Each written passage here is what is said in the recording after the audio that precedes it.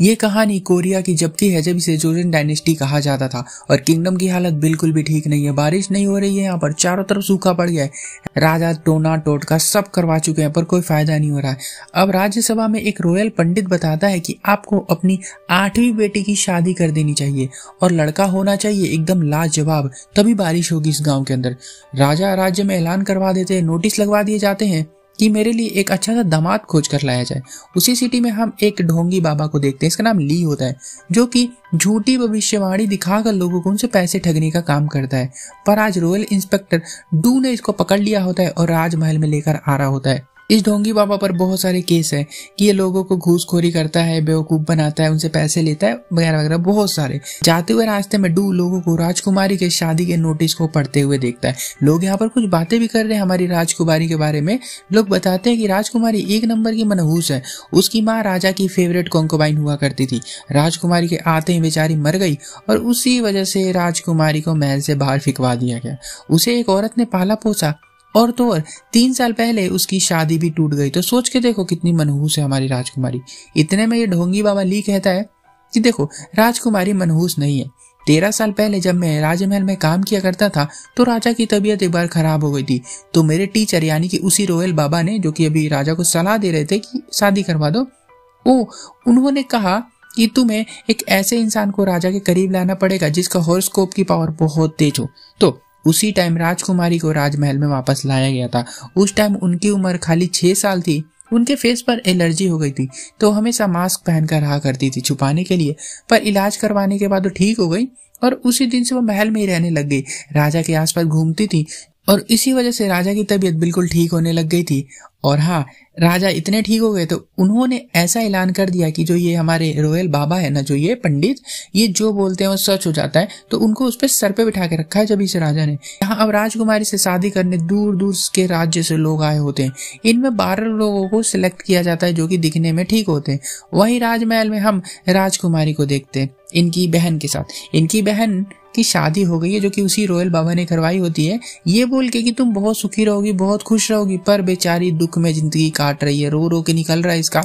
अब ये देख के हमारी राजकुमारी डर जाती है कि कहीं मेरा भी फ्यूचर ऐसा ना हो कि पूरी ज़िंदगी रोना पड़े। इस रॉयल बाबा के चक्कर में मैं कहाँ पड़ रही हूँ? इसलिए मैं अपने होने वाले पार्टनर पति की डिटेल्स खुद जाकर निकालूँगी और देखूँगी कि वो कैसा है। और यहाँ पर ढोंगी बाबा की धुलाई हो रही होती है अच्छे तरीके से। एक्चुअल में जब ये यहाँ पर काम करता था ना महल के अंदर तो उस टाइम में लोगों से घूस लिया करता था। इतना पिटने के बाद इसे चीफ रोल इंस्पेक्टर, जिनका नाम यूनसिक होता है, जो कि मेन कैरेक्टर भी है, ये सामने इनके लाया जाता है और बाबा कहता है कि देखो भाई, मैंने मेरे सारे जो कांड थे ना, वो रोयल बाबा के कहने पर किया था। बस रोयल बाबा को भी उठा लिया जाता है, उनकी भी पनिशमेंट दी जाती है, पर रानी उनको जल्दी छुड़वा लेती है और जो सारे सबूत थे ना, उसको भी मिटवा देती है वो। ये सब यूनसिक नहीं किया है, जो कि रोयल इंस्पेक्टर है। इसी ने सारे सबूत मिटाए हैं, क्योंकि इसको आगे जाके कुछ बड़ा हाथ आने वाला है। अब यहाँ पर रानी ने ये सब क्यों किया है? ये हमें आगे पता चलता है। यहाँ हम इंस्पेक्टर डू को देखते हैं जो अपने छोटे भाई को दवाई लगा रहे हैं। इनका भाई देख नहीं सकता है। डू बहुत दूर दूर से डॉक्टरों को लाते हैं, इलाज करवाते हैं और कुछ नहीं हो रहा इनके भाई का। इनका भाई कहता है कि कोई बात नहीं, तुम अपने पैसे वेस्ट मत करो, मुझे छोड़ दो। और उसी दौरान महल में राजा ने भी एक न्यू ज्योतिषी पंडित को खोजने की शुरू कर दी है बातचीत, क्योंकि वो चाहते हैं कि जो ये बारह लड़के की लिस्ट निकल के आई है, इनमें से एक लड़का जो सबसे परफेक्ट हो ना वो मेरी राजकुमारी के लिए चुना जाए। अगले दिन डू आता है कोर्ट में, क्योंकि इंस्पेक्टर तो है ही, पर साथ में इसको थोड़ी ज्योतिषी विद्या का भी ज्ञान होता है तो अब से यही यहाँ का बाबा भी होता है राजमहल का। और फिर उन बारह लड़कों में से चार लड़कों को सिलेक्ट किया जाता है, राजकुमारी का पति बनने के लिए। और फेस्टिवल में उनके नाम रिवील किए जाएँगे। और फेस्टिवल जब शाम को शुरू होता है तो राजकुमारी भी यहाँ पर आई होती है नाम देखने के लिए, ताकि डिटेल्स निकाल सके उनके। यहाँ राजकुमारी को वैसे कोई पहचानता नहीं है, क्योंकि आज से पहले राजकुमारी को किसी ने देखा ही नहीं होता है। यहीं पर कुछ औरतें राजकुमारी और इंस्पेक्टर यूनसिक की बातें कर रही होती है, जहाँ से हमें पता चलता है कि तीन साल पहले राजकुमारी की शादी टूट गई थी, और जिससे शादी फिक्स हुई थी वो वही था इंस्पेक्टर यूसिक जिसने अभी अभी वो सबूत मिटाए थे। क्योंकि उसको पता चल गया था कि राजकुमारी बैड लक है, मनहूस है वो, इसलिए रिश्ता तोड़ दिया था। और यहीं से डू जा रहा होता है। राजकुमार इसको देखती है तो इसको लगता है कि यही यूनसिक है और इसका पीछा करने लग जाती है।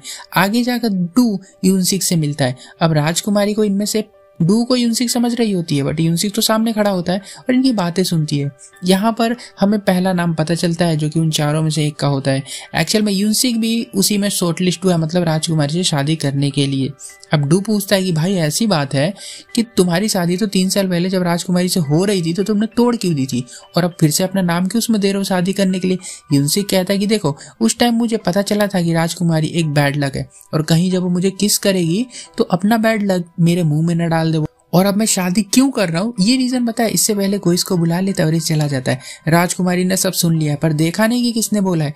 तो ये टूट पड़ती है, भागती हुई जाती है और डू को किस करने लगती है। और ये उसको बताना चाहती है कि बैड लक किस करने से नहीं जाता है, पर इन्होंने डू को किस यूनसिक समझ कर कर लिया यूनसिक तो ऐसे जा चुका है। और जब खड़ा होता है तो देखता है इनको, ये इसको देखती है ये भाग जाती है। अब डू को भी नहीं पता है कि थी कौन लड़की, इसको लगता है कि मामूली सी लड़की होगी, है ना? अब अगली रात राजकुमारी अपने खास आदमी से चारों लड़कों के डिटेल्स ने चोरी करवा लेती है, जो कि एक्चुअल में डू के पास रखे थे, क्योंकि वही यहाँ का बाबा है, और एक्चुअल में ये जो डिटेल्स होती है ना, वो कुंडली है, और अगले दिन राजकुमारी महल से भाग जाती है। महल से भागकर जब बाहर आती है तो उनको गरीबी भूखमरी दिखनी चालू हो जाती है। बच्चों को ये प्यार से खाना खिलाती हैं, और सुनती है कि बच्चे इन्हीं के बारे में बात कर रहे होते कह रहे थे कि राजकुमारी मनहूस है और बहुत अगली दिखती है। जबकि उन्होंने उसको देखा भी नहीं है कभी। ये पूरे गाँव में ना एक तरह का र्यूमर्स फैला होता है ऐसे कुछ। और यहाँ से फिर जाती है एक लड़की के पास। ये लड़की के बारे में बताऊँ तो ये पहले राजमहल में दासी का काम किया करती थी बट अब वहाँ से बीमारी का बहाना बनाकर भाग गई और यहाँ पर अगर परफ्यूम और फूल बेचने का काम करती है। और इसकी बहन अभी भी महल में ही काम करती है। और ये कहती है कि देखो, उन चारों में से जो एक लड़का है ना, वो मेरी दुकान पर हमेशा आता जाता रहता है। उसका नाम कांग है। और दूसरा लड़का जो है, वो तो आपको पता ही है यूनसिक है, वही इंस्पेक्टर बाकी जो दो लड़के होते हैं ना वो आइए, आगे देखते हैं। बहुत ही कमाल के होते हैं। अब बाकी की तलाश में ये आगे बढ़ जाती है। इसका पीछा कर रहा होता है इंस्पेक्टर डू? क्योंकि इसको लगता है कि ये लड़की चोर है। इसी ने मेरी कुंडली चुराई और भागी लेकर। इसको पकड़ लेता है घर के सामने। कहता है कि तुम राजकुमारी की दासी हो, मैं तुम्हें जानता हूँ। तुम कुंडली चुरा क्यों भाग रही हो? राजकुमारी कहती है कि मैं दासी तो हूँ, पर मैंने कुंडली नहीं चुराई है। तुमने वो खो दी होगी कहीं, क्योंकि राजा ने तुम्हें दी थी रखने के लिए। तुम मुझ पर इल्ज़ाम लगा रहे हो। डू कहता है अच्छा ठीक है, तुम ये बताओ, तुम इस घर के बाहर क्या कर रही हो? ये कहती है कि इस घर में मेरा बॉयफ्रेंड यू सांग रहता है। उसकी शादी राजकुमारी से फिक्स हुई है तो लास्ट बार उससे मिलने आई हूँ, अपने दिल की बात कहने आई हूँ। डू का दिल पिघल जाता है, कहता, है, सच्चा प्यार है। और फिर इसको अंदर लेकर जाता है। और यहाँ पर हम देखते हैं थर्ड लड़का होता है, राजकुमारी का पति बनने वाला है जो। ये युसांग है जो कि अभी तेरह साल का होता है खाली, जिसको औरत चाहिए। और डू राजकुमारी को घूरता है और कहता है, तुम्हें ऐसा नहीं लगता है कि तुमने अपने से काफ़ी छोटे लड़के से प्यार किया है? और डू भाई यहाँ पे बैठा होता है, ज्योतिषी है। तो इन दोनों की जन्म तिथि पूछ कर ना कुंडली उंडली मिलाने लग जाता है। तो इनके ना भाई छत्तीस का छत्तीस गुण मैच कर रहे होते हैं। या महल में राजकुमारी के रूम में हम दासी को देखते हैं, जो कि राजकुमारी बन के छुपी हुई एक्टिंग कर रही होती है और कह रही है अपने दासियों से बाकी की, को मेरे को हो गई है छुआछूत की बीमारी, मेरे पास मत आ जाना, सब मैं फिला दूँगी वरना। तो इसके ना कैबिन में रूम में ना कोई भी नहीं घुसता है। वरना पकड़ी जाएगी ना कि तो दासी जो रानी, राजकुमारी बनी हुई है। और यहाँ यूसांग बहुत खुश है। बता रहा है कि मेरी शादी राजकुमारी से होने वाली है, पर मुझे मर्द बनना है। पर हाँ मैं कितना भी खा लू, मेरी हाइट नहीं बढ़ती और मैं बड़ा भी नहीं होता। है राजकुमारी कहती है कि बड़े ऐसे नहीं होते हैं। तुम टाइम के साथ साथ बड़े हो जाओगे। यहाँ पर फिर हम रानी से मिलते हैं, जो अपने रॉयल पंडित से बोल रही होती है कि तुम कुछ भी करके राजकुमारी और इंस्पेक्टर यूनसिक की कुंडली को मिलवा दो और उनकी शादी करवा दो बस। एक्चुअल में रानी अपने छोटा सा बेटा होता है ना इनका, इसको किंग बनाना चाहती है, वो बड़ा हो जाएगा जब। हालाँकि वो बहुत ही कमज़ोर होता है अभी, और वो चाहती है कि जब यूनसिक की शादी होगी ना इससे, जो अभी राजकुमारी है तो यूनसिक को तो अपने नीचे दबा कर रखेंगी और अपने बेटे को राजकुमार बनाएँगी। यूनसिक भी हमारा कम नहीं है, वो भी भाई अपना ही अलग प्लान चला रहा होता है यहाँ पर। उसका क्या प्लान है, ये अभी थोड़ी देर में देखेंगे, जो काफ़ी अलग होता है। यहाँ फ्लावर शॉप वाली लड़की जो होती है ना, वो राजकुमारी को फिर तीसरे नंबर के लड़के से मिलवाने ले जाती है। ये कांग होता है, वही लड़का जो कि इसकी दुकान में आता है, ठीक है? फूल बेचने के लिए। ये भाई बहुत हैंडसम हंक निकलता है लड़की पागल है इसके पीछे। और राजकुमारी भाई इसको देखते ही पिघल जाती है एकदम से, कितना हैंडसम है, वाह वाह वाह वाह। और वहीं पर एक घंटा साथ में बिताने के बाद औकात पता चलती है उसकी कि कांग एक नंबर का प्ले बॉय होता है, किसी भी लड़की को मुँह लगा लेता है और लड़कियाँ छेड़ता है, बदतमीज होता है मतलब कूल मिला जुला के गिरा हुआ इंसान है एक नंबर का। और यहाँ पर यून सीख, डू से बोल रहा होता है कि तुम कुछ भी करके राजकुमारी से मेरी कुंडली मिलवा दो। अब डू मना करता है, मैं नहीं करूँगा। यूनसी कहता है कि भूलो मत, मेरे पिता ने तुम्हें और तुम्हारे उस अंधे भाई को पाला है और मैं तुम्हारे भाई का इलाज करवा दूँगा, अगर तुम ये बना देते हो कुंडली मेरी नकली राजकुमारी के साथ। एक्चुअल में ये दोनों जो कज़न होते हैं, यहाँ पर मैं बता दूँ यूनसिक और डू यहीं पर राजकुमारी सॉन्ग आ रही होती है चिल्ला चिल्ला कर डू भी यहाँ पर आया हुआ है, राजकुमारी के होने वाले पति कांग को देखने के लिए। और कांग राजकुमारी को गलत तरीके से टच करने लग जाता है। उसको नहीं पता है मैं बता दूँ कि राजकुमारी है, उसको कोई नॉर्मल लड़की समझ कर वो टच कर रहा होता है। और डू ये सब देखकर बहुत जल रहा होता है, क्योंकि जब से राजकुमारी ने इसको चुम्मी दी है, उसी टाइम से उसका दीवाना हो गया होता है। हालाँकि इन्हें किसी को नहीं पता कि ये राजकुमारी है, इसको दासी समझ रहे होते हैं ये लोग, और कहता है कि अगर तुमने इस लड़की से शादी की तो तुम दो साल में मर जाओगे, और जब तक साथ रहोगे तब तक तुम्हारी खूब लड़ाई होगी।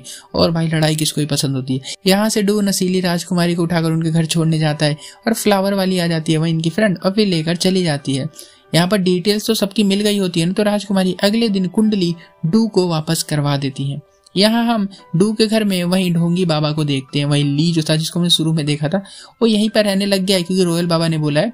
और यहाँ पर ये इसके भाई की सेवा करेगा और डू का स्टूडेंट बनना चाहता है, कुछ मतलब ज्योतिषी विद्या का ज्ञान प्राप्त करना चाहता है ये। कहता है कि रोयल बाबा के क्राइम का जो इल्ज़ाम थे ना, वो सारे मेरे ऊपर लगा दिए गए और ये सब रानी ने करवाया है। और यूनसिक ने सारे सबूत जला दिए। तो मैं फंस गया हूँ बहुत बुरी तरह से। और फाइनली वो दिन भी आ जाता है जब राजकुमारी से कुंडली मिलाई जाएगी चारों लड़कों की। जो मैच हुई उसकी शादी पक्की। डू राजकुमारी की कुंडली देख के चौक जाता है, क्योंकि सेम कुंडली उस दासी की भी थी उस दिन। अब ये सोचने लगा है, क्योंकि इसने एक बार जब वो छोटे वाले तेरह साल के लड़के घर में गए थे तो राजकुमारी से उनकी कुंडली डेट ऑफ़ बर्थ पूछी थी इसने। तो ये सर्वेंट बुक चेक करता अंदर जाकर। तो यहाँ पर रियल दासी की डेट ऑफ़ बर्थ देखता है जिसका नाम यूनली होता है एक्चुअल में, जिसको अभी यूनली का जो रोल है वो रानी प्ले कर रही है बाहर घूम घूम के। और ये समझ जाता है कि भाई जिस समय मिला था ना उस दिन वो दासी नहीं, बल्कि राजकुमारी थी। और यहाँ पर हेड दासी को भी पता चल जाता है इसी बीच कि राजकुमारी महल में नहीं है, वो शोर शराबा तो नहीं करती है, ढूँढने के लिए चुपके से भेज देती है लोगों को। यहाँ राजकुमारी अब फोर्थ वाले लड़के, जिसका नाम चीहूक होता है, उससे मिलने के लिए आई हुई है। ठीक है? मेड बनकर इसके घर में। उस लड़के की माँ बीमार रहती है ना तो इस वजह से इसका ये इलाज करने वाली है। यहाँ पर ये लड़का जो होता है ना, बहुत अच्छा होता है। गरीबों की हेल्प करता है, उनको खाना खिलाता है मतलब सेवा पानी में लगा रहता है पूरे दिन। ये सब देख के राजकुमारी बहुत खुश होती है कितना अच्छा है ये लड़का। और जब खुद सर्वेंट वाले एरिया में जाती है तो वहाँ पर जितने भी घर के नौकर होते हैं, वो सारे भूख के मारे तड़प रहे होते हैं। अब यहाँ पर ये कहती हैं कि इनको खाना क्यों नहीं दिया जा रहा है?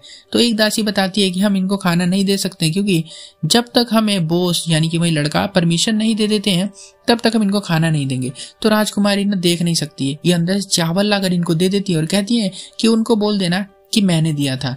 और यहाँ पर डू उसी दयालु लड़कों की प्रोफ़ाइल को पढ़ रहा होता है, जिसके यहाँ अभी एक्चुअल में राजकुमारी गई हुई है।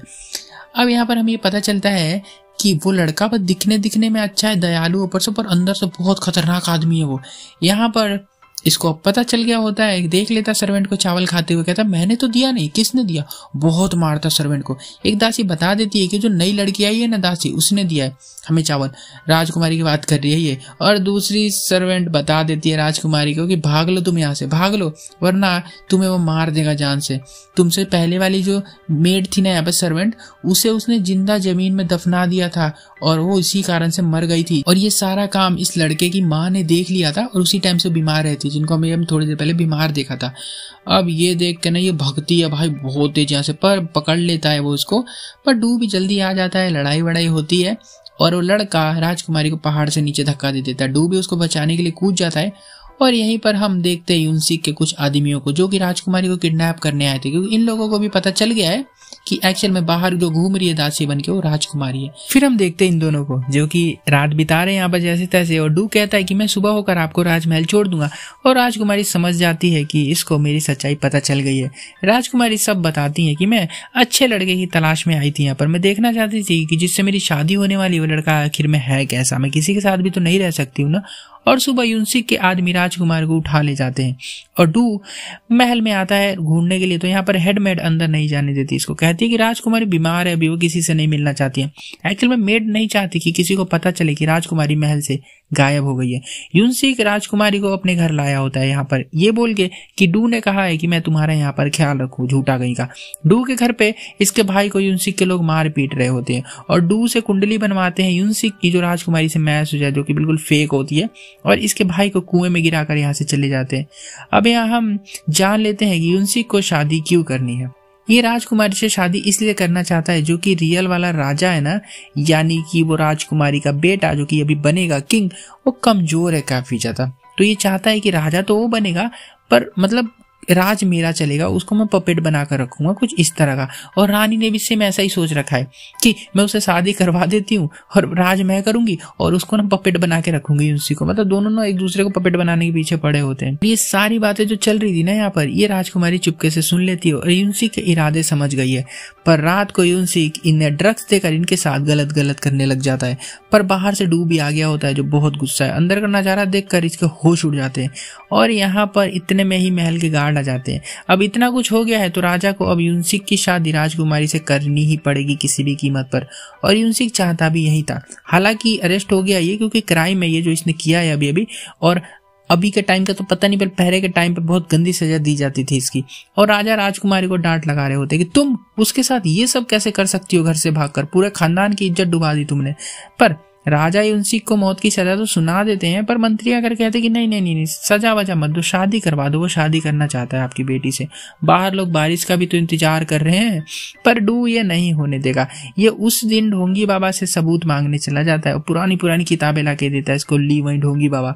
और इसमें रानी, रोयल, बाबा और यूंसी के सारे जो कर्म कांड होते हैं ना, सब लिखे हुए होते हैं। फिर यूंसी के घर में कुंडली चुराने जाता है। वही फेक वाली जो इसने बनाई थी, पर बेचारा अरेस्ट हो जाता है। और अगले दिन सभा में यूंसी को सिलेक्ट किया जाता है शादी के लिए राजकुमारी के साथ, जैसा वो चाहता था। और अगले दिन शादी भी शुरू हो ही गई होती है। डू यहाँ पर जैसे तैसे छूट कर आ जाता है महल में और सबको बताना शुरू करता है कि कुंडली नकली है, मैंने ही बनाई थी यूनसिक ने बनवाई थी, बाकी सारी चीज़ें। यूनसिक भी फिर अपने बचाव में कुछ बोलता है बट डू कहता है कि इन दोनों की जोड़ी एकदम ही बेकार है, और डू के साथ साथ जुन्सी को भी अरेस्ट कर लिया जाता है। डू को इसलिए किया गया क्योंकि उसने कुंडली बनाई हो और को किया गया क्योंकि उसने क्या ही क्या कर रखे हो। तो आप देखते आ ही रहे हो।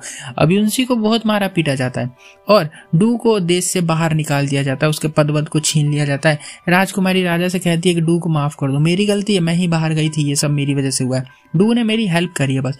पर राजा डू को माफ़ नहीं करते। बहुत बहस होती है दोनों की और अगले दिन डू ने राजा के पास सारी किताबें भेज दी होती है, जिसमें एक लेटर भी होता है। इसमें रानी, रोयल, बाबा के सारे कर्म कांड होते हैं सबको पता ही है। और एक लेटर भी लिखा है डू ने कि रानी को माफ़ कर दो। उन्होंने अपने छोटे से कमज़ोर बच्चे के लिए सब किया था। पर राजा उठते हैं, रानी के पास जाते हैं सजा देने के लिए, पर अपने बेटे को देख ना रानी को माफ़ कर देते हैं। और कई साल बाद, आज फाइनली किंगडम में बारिश होती है, बिना शादी किए ही। और ये सब देख राजा राजकुमारी से कहते कि तुम चली जाओ डू के पास, कोई बात नहीं।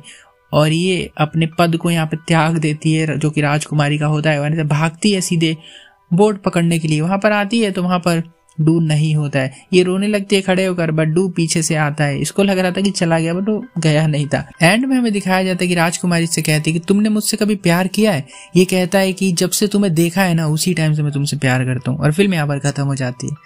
अगर वीडियो अच्छी लगी तो वीडियो को लाइक कर दो चैनल को सब्सक्राइब कर दो। कर दो सब्सक्राइब प्लीज़ कर देना ओके मिलता हूँ अगली वीडियो के साथ, तब तक के लिए बाय